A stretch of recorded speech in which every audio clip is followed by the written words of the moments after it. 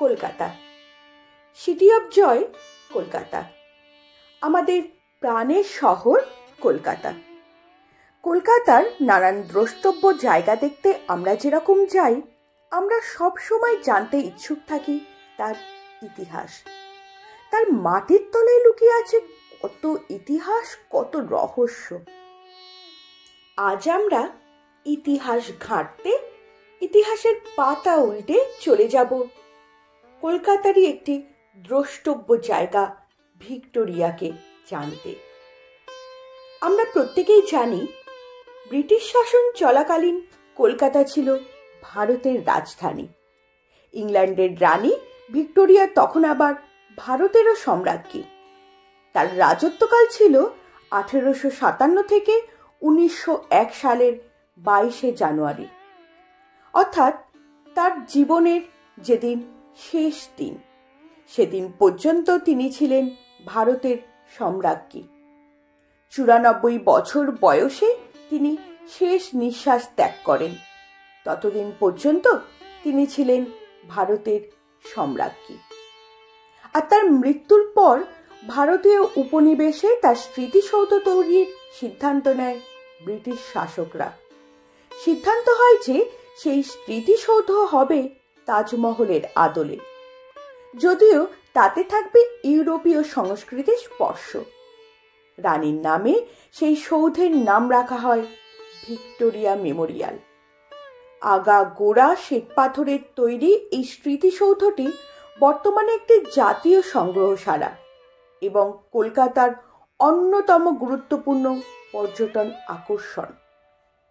কলকাতা শহরের ঐতিহ্যবাহী এই ভবনকে ঘিরে রয়েছে বহু মজাদার ঘটনা, যা হয়তো আপনারা অনেকেই জানেন না।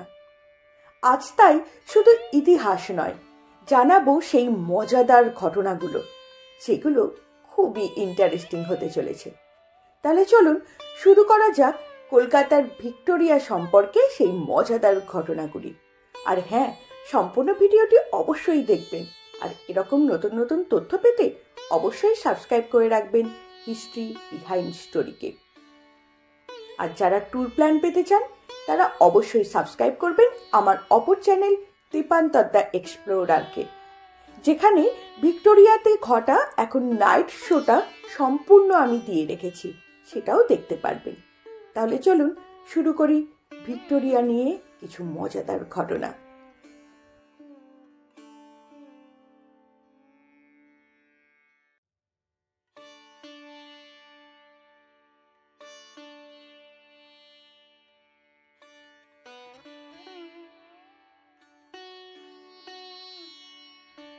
সালটা উনিশশো এক খ্রিস্টাব্দ, বাইশে জানুয়ারি।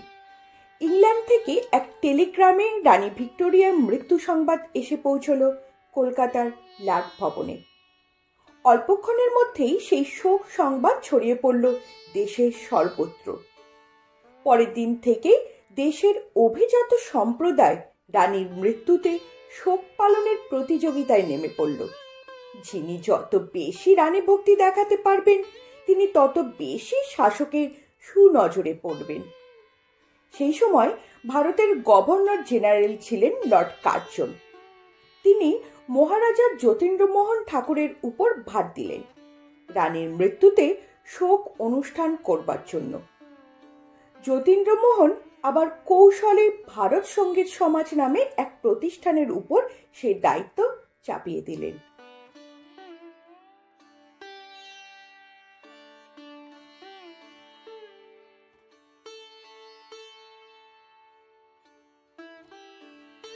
হিন্দু পারলৌকিক বিধি অনুসারে মৃত্যুর তারিখ থেকে বারো দিনের দিন সংগীত সমাজের উদ্যোগে অসংখ্য মানুষ মাতৃবিয়োগের সমান শোকচিহ্ন, অর্থাৎ সাদা ধুতি ও সাদা উত্তরীয় পরে। খালি পায়ে গড়ের মাঠে কীর্তন অনুষ্ঠানে যোগও দেয়। পরের দিন তেসরা ফেব্রুয়ারি কর্নওয়ালি স্ট্রিট, অর্থাৎ বর্তমান বিধান সরণের উপর বিডন স্ট্রিটের সংযোগস্থল থেকে মেছুয়া বাজার স্ট্রিট, অর্থাৎ বর্তমান কেশবচন্দ্র সেন স্ট্রিট পর্যন্ত দীর্ঘ রাস্তার উপর ফুটপাত ধরে চারটি সারিতে কাঙালি ভোজন বা দরিদ্র নারায়ণ সেবা করানো হয়। মেনু কি ছিল জানেন? খিচুড়ি, বাঁধাকপির তরকারি, দই, বোঁদে এবং ভীম নাগের দেওয়া সন্দেশ। খিচুড়ি তৈরি করতে লেগেছিল সাড়ে চার টাকা মন দামের দেড়শো মন বাদাম চাল। সেই পরিমাণ ডাল, বারো মন ঘি, হলুদ, লঙ্কা প্রভৃতি মশলা। শ্রাদ্ধ ভুরিভোজন হলো বটে, তবে তাতেও ইংরেজ ভক্ত প্রজাকুলের একাংশের শোক কমল না। তারা ঠিক করল, রানীর স্মৃতি দেশবাসীর মনে জাগিয়ে রাখতে কিছু একটা করা দরকার। নানা জনে নানা প্রস্তাব দিলেন। শেষে একটা বড় পরিকল্পনা করলেন লর্ড কার্জন নিজে। রানীর মৃত্যুতে ব্রিটিশদের বিশ্বজোড়া সাম্রাজ্যের বিভিন্ন অংশে যেমন স্মৃতিসৌধ তৈরি হচ্ছে, ঠিক তেমনি একটি স্মৃতিসৌধ তৈরি করা হবে গড়ের মাঠে। ভিক্টোরিয়ান যুগের নানা শিল্পবস্তু দিয়ে সাজানো হবে সেই স্মৃতিসৌধ। নাম হবে ভিক্টোরিয়া মেমোরিয়াল হল।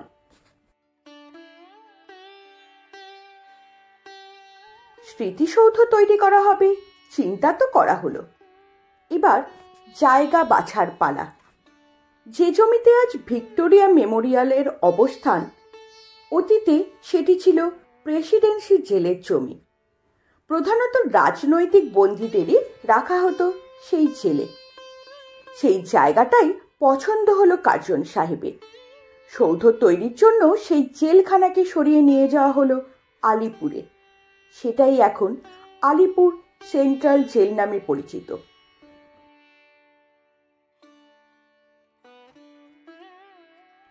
এরপর আরও একটা ঘটনা জানলে আপনারা অবাক হবেন। রানীর স্মৃতিসৌধ তৈরির প্রস্তাব করেছিলেন ব্রিটিশ ভাইসরয়। অথচ সেটি তৈরির খরচ প্রধানত বহন করতে হয়েছিল দেশের সাধারণ মানুষকে। তুলনায় ব্রিটিশদের খরচ ছিল অত্যন্ত কম। স্মৃতিসৌধ তৈরির জন্য লর্ড কার্জন ভারতীয় রাজা, জমিদার, ধনী, অভিজাত ব্যক্তি এবং ব্যবসায়ীদের কাছে অর্থ দানের আবেদন জানান। আবেদন নয়, আদতে তা ছিল ভাইসরয়ের আদেশ। সেই আদেশ খণ্ডন করার সাহস কারোর ছিল না। সেই সময় স্মৃতিসৌধ তৈরি করতে খরচ পড়েছিল প্রায় এক কোটি পাঁচ লক্ষ টাকা। অর্থাৎ আনন্দ করে আপনারা যে স্মৃতিসৌধ আজকে দেখতে যাচ্ছেন, তার মাটির তলায় কত চোখের জল, কত অজানা রহস্য।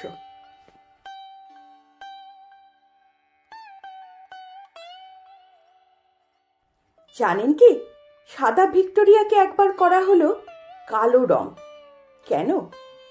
শ্বেতপাথরে তৈরি ভিক্টোরিয়া মেমোরিয়ালকে সম্পূর্ণ কালো রঙে ঢেকে দেওয়া হয়েছিল। সালটা ছিল উনিশশো তেতাল্লিশ। কিছু মনে পড়ছে? হ্যাঁ ঠিকই ধরেছেন, দ্বিতীয় বিশ্বযুদ্ধ চলছিল সেই সময়। এমনকি জাপানি সৈন্যদের আক্রমণের ভয়ে ভিক্টোরিয়ার ছবি প্রকাশও তখন বন্ধ করে দিয়েছিল ব্রিটিশ সরকার। আর শ্বেত পাথরের সাদা ইমারত বহু দূর থেকে যেহেতু দেখা যায়, তাই সেখানে বোম পড়ার আশঙ্কাও খুব বেশি।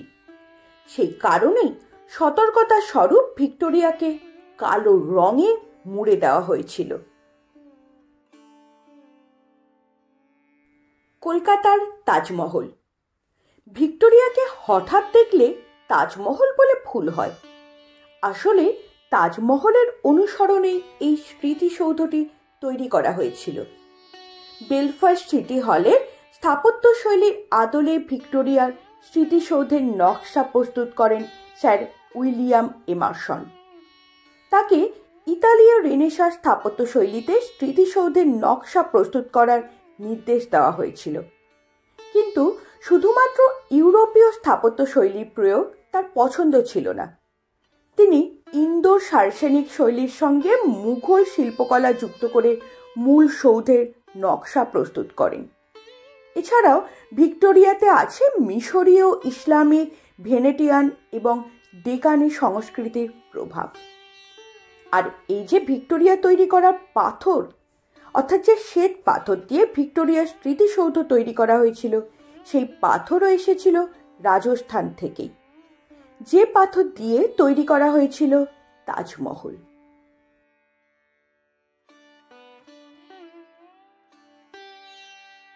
চৌষট্টি একর জমির উপর লন, পুকুর গুলমরাচি ও লতা পাতায় ঘেরা বিশাল উন্মুক্ত প্রাঙ্গণে ভিক্টোরিয়া মেমোরিয়াল সংস্থাপিত। কলকাতায় সম্ভবত এরূপ মনোরম ও উন্মুক্ত অঙ্গন আর নেই। ভবনটির দৈর্ঘ্য একশো তিন দশমিক শূন্য দুই মিটার, প্রস্থ উনসত্তর দশমিক চার নয় মিটার এবং অ্যাঞ্জেল অফ ভিক্টরি মূর্তি পর্যন্ত এর উচ্চতা ছাপ্পান্ন দশমিক শূন্য আট মিটার। মূর্তিটি আরও চার দশমিক আট আট মিটার উঁচু। মেমোরিয়াল নির্মাণে ব্যয়িত মোট এক কোটি পাঁচ লক্ষ টাকার সবটাই সংগ্রহীত হয়েছিল ব্যবসায়ী সম্প্রদায় ও ভারতের দেশীয় রাজন্যবর্গের অর্থ থেকে। বলা হয়ে থাকে, ভবনের সম্পূর্ণ নির্মাণ সামগ্রী বহনের জন্য প্রয়োজন ছিল একটি সাতাশ কিলোমিটার দীর্ঘ ট্রেনের। ভবনের সর্বমোট ওজন হিসাব করা হয়েছিল আশি হাজার তিনশো টন এবং ব্যবহৃত মার্বেলের মোট পরিমাপ চারশো পঞ্চাশ দশমিক দুই চার ঘনমিটার। মার্বেল সংগ্রহ করা হয়েছিল রাজস্থানের মাকরানা থেকে, যেখান থেকে সম্রাট শাহজাহান তাজমহলের জন্য মার্বেল সংগ্রহ করেছিলেন। প্রাথমিক পর্যায়ে পরিবহন খরচ সহ মার্বেলের মোট মূল্য হিসাব করা হয়েছিল পঁচিশ লক্ষ টাকা। পরে অবশ্য ভারতীয় রেল বিভাগ পরিবহন চার্জ দাবি না করলে মার্বেল বাবদ ব্যয় দু লক্ষ টাকা কমে যায়।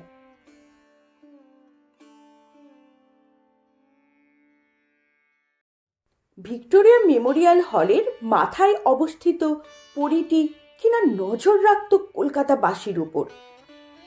হ্যাঁ এটাই একসময় রটিয়ে দেওয়া হয়েছিল। কিন্তু কেন?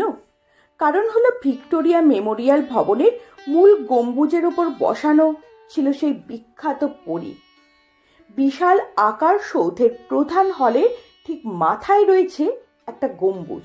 আর গম্বুজের বাইরের দিকে একটা পাড়া বা মার্কারি দিয়ে ভরা ব্রোঞ্জের গ্লোব। গ্লোবের উপর দাঁড়িয়ে আছে প্রায় সাড়ে ছয় টন ওজনের ব্রোঞ্জের তৈরি এক নারী মূর্তি, যে বাঁ হাতে একটি লম্বা শিঙা ফুঁকছে, ডান হাতে একগুচ্ছ ফুল, পেছনে দুটো পাখা। মূর্তির বৈশিষ্ট্য হলো, একটু জোরে হাওয়া দিলেই সে ঘুরে যায় বিভিন্ন দিকে, আর তাই তাই নিয়েই সে যুগে তৈরি হয়েছিল নানা গুজব। শোনা যায়, কেউ কেউ রটিয়ে দিয়েছিল অ্যাঞ্জেলিস ওয়াচিং ইউ অর্থাৎ ওই পরি নাকি ব্রিটিশদের চর। দুশো ফুট উঁচু থেকে চারিদিক ঘুরে কলকাতাবাসীদের ওপর নজর রাখছে।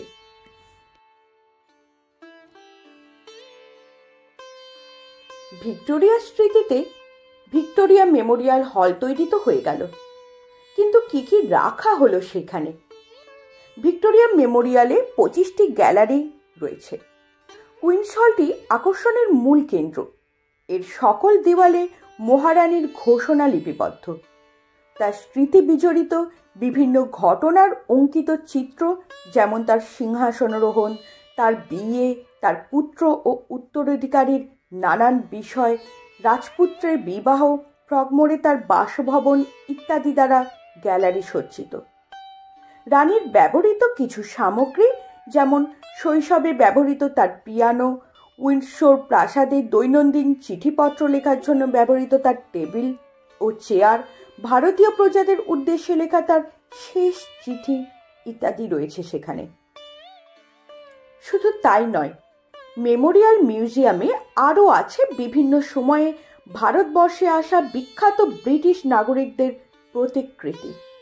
যেমন Macaulay, Kipling, bishop Heber, William Hickey প্রমুখ। নিজ যোগ্যতায় ভারতীয় কিছু ব্যক্তিও এখানে স্থান পেয়েছেন। তাদের মধ্যে রয়েছে কেশবচন্দ্র সেন, মাইকেল মধুসূদন দত্ত, রবীন্দ্রনাথ ঠাকুর এবং তার পিতামহ দ্বারকানাথ ঠাকুরও। কিছু দলিলপত্র এখানে সংরক্ষিত আছে। এর মধ্যে রয়েছে নন্দকুমারের জালিয়াতি সম্পর্কিত দলিল, যার জন্য তাকে অন্যায়ভাবে প্রাণদণ্ডে দণ্ডিত করা হয়েছিল। এছাড়াও আছে ব্রিটিশ সাম্রাজ্যবাদের স্মৃতিবাহী বিভিন্ন নিদর্শনাদি, যেমন রানী মেরি, পঞ্চম জর্জ ও অন্যান্যদের আবক্ষ মূর্তি। সতেরোশো সাতান্ন সালে পলাশির যুদ্ধে দখলকৃত ফরাসি কামান ইত্যাদি। ভিক্টোরিয়া মেমোরিয়ালের প্রধান আকর্ষণীয় বস্তু হল রানী ভিক্টোরিয়ার বিষণ্ন বিশাল একটি মূর্তি। এর দুদিকে রয়েছে দুটি সুদৃশ্য জলাশয়। ভারত শাসনকারী অনেক শাসকই রোমান রীতির পরিচ্ছদাবৃত হয়ে এখানে প্রস্তর মূর্তিতে উপস্থাপিত। যেমন lord Clive, Warren Hastings, Cornwallis, Wellesley এবং লর্ড ডালহৌসি। মিউজিয়ামের নটি গ্যালারিতে আঠাশ হাজার তিনশো চুরানব্বইটি শিল্পকর্ম প্রদর্শিত হয়েছে। এইসব শিল্পকর্মে ধরা হয়েছে আমাদের জাতির তিন শতকেরও বেশি সময়ের ইতিহাস, যার শুরু ষোলোশো পঞ্চাশ খ্রিস্টাব্দ।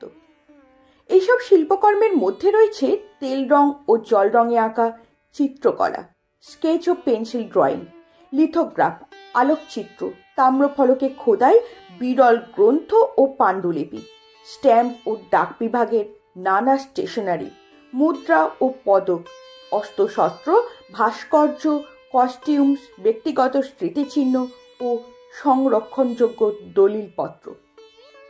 অষ্টাদশ ও উনিশ শতকের নামকরা শিল্পীদের চিত্রকলার সংগ্রহ রয়েছে ভিক্টোরিয়া মেমোরিয়ালের মিউজিয়ামে। বিখ্যাত কাকা ভাইপো শিল্প জুটি টমাস ও উইলিয়াম ড্যানিয়েলের চিত্রকলার সবচেয়ে বেশি সংগ্রহ রয়েছে এই মিউজিয়ামে। একটি মাত্র ক্যানভাসে আঁকা পৃথিবীর তৃতীয় বৃহত্তম চিত্রকলা রয়েছে ভিক্টোরিয়া মেমোরিয়ালের সংগ্রহে। এটি রুশ শিল্পী ভাসালা ভেরেসাগেন্সের আঁকা। আঠেরোশো ছিয়াত্তর সালে প্রিন্স অফ ওয়েলসের জয়পুর আগমন উপলক্ষে যে মিছিল হয়, সেই মিছিলই এই চিত্রকলার বিষয়বস্তু। এছাড়াও ভিক্টোরিয়া মেমোরিয়ালে সংগ্রহ রয়েছে ফার্সি ভাষায় লেখা নানা পাণ্ডুলিপি। যেমন সম্রাট আওরঙ্গজেবের হাতে লেখা সচিত্র কোরআন, আবুল ফৈজের করা নল দময়ন্তী কাহিনীর অনুবাদ দ্বারা দারাশিকর করা উপনিষদের অনুবাদ, আইনি আকবরী ইত্যাদি। এছাড়াও রয়েছে টিপু সুলতানের ব্যক্তিগত ডায়েরি, পলাশির যুদ্ধে ব্যবহৃত কামান ও কামানের গোলা, মহারাজ রঞ্জিত সিংহের ব্যক্তিগত তলোয়ার, তাঁতিয়া টপির ওভারকোট ইত্যাদি। ইদানিং ভিক্টোরিয়া মেমোরিয়ালের সংগ্রহ আরও সমৃদ্ধ হয়েছে।